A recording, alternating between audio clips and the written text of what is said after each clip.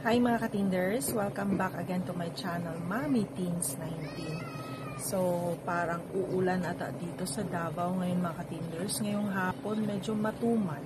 Pero nung kahapon kasi, nakakabawi ako nung malapit na ako magko-closing time kasi marami na rin nagsibilihan. So, naisipan ko itong aking mga tindang gamis, isi-share ko sa inyo uli kasi may nabili akong 2.5 kilos. So, magka-count tayo kung ilang piraso at gaano kalaki ba ang kita sa pagtitinda ng ating mga gamit. So, keep on watching mga katinders.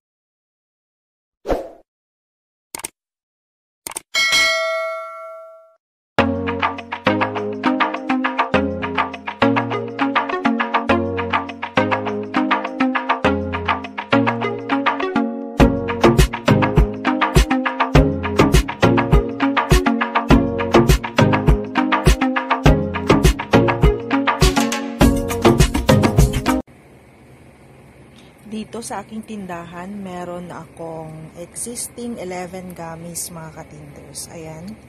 Iba-iba yan mga katinders. Meron pa dito yung lips, strawberry heart, yung aking saleable na cola, caterpillar, yung donut. Ayan, meron akong gummy teeth, watermelon, banana, gummy snake, and then gummy dolphin. Ito yung mga gummies ko na nabili ko sa aking wholesaler. So, ito siya mga katinders. Uh, bili ko nito 35 pesos. Pero ang laman nito 50 pieces. So, meron akong kita na 15 pesos. Ayan. Tulad nito. Daming mga stocks nila. So, pag wala akong mahanap na 2.5 kilos, usually yung binibili ko, itong mga naka-repack ng mga katinders. So, may tubo pa rin na 15 pesos per pack. Ito ating gummy series na tinatawag na flower. Ito yung bago sa aking tindahan. Ito yung aking pang 12 na gummy, mga katinders. So, 2.5 kilos siya. Ayan.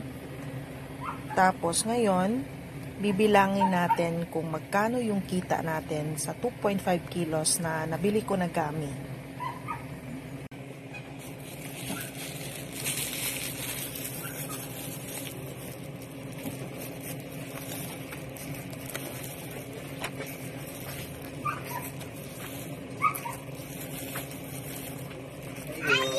Ah. Bilangin naman natin itong 2.5 kilos na gummy caterpillar mga katinders. Check natin kung magkano yung kita natin.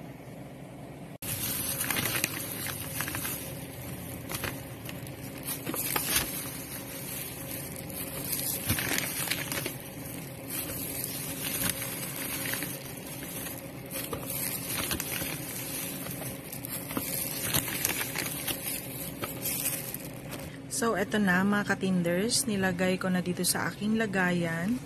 Ayan. Tapos, binilang ko na siya. Itong gummy flour.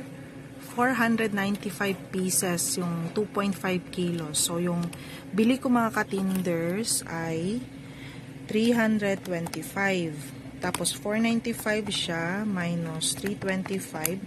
So, may tubo ako na 170. Ayan.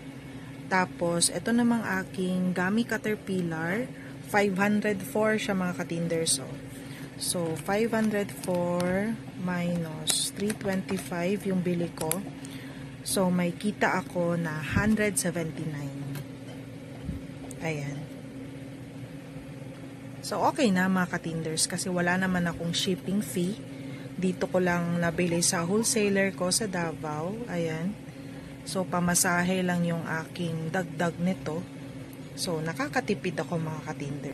So, may kita pala mga katinders, yung sa 2.5 kilos, mas malaki yung kita compared dun sa na-repack na 35 pesos na bili ko, may 15 pesos lang ako natubo.